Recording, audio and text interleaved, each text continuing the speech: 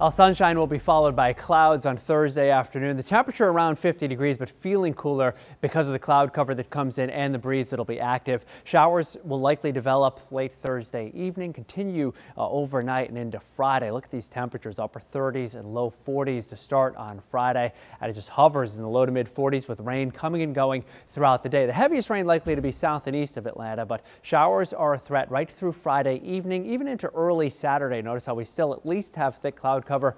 Might even have a few lingering showers uh, for Saturday morning, but it gets a bit brighter on Saturday afternoon with a high temperature pretty close to normal at 55 degrees. Milder sunshine on Sunday in the upper 50s and we'll make it into the 60s on Monday.